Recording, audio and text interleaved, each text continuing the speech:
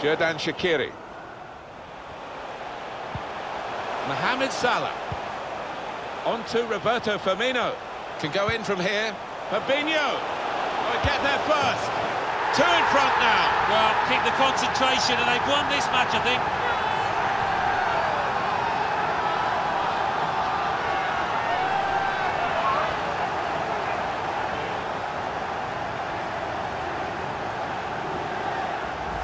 Well, if you keep going in to that sort of area, the ball will drop for you, and it dropped perfectly for him. I think that's the lesson to anybody uh, enduring a goal drought. Keep getting into the positions in the 18-yard, in the six-yard box, and you will score.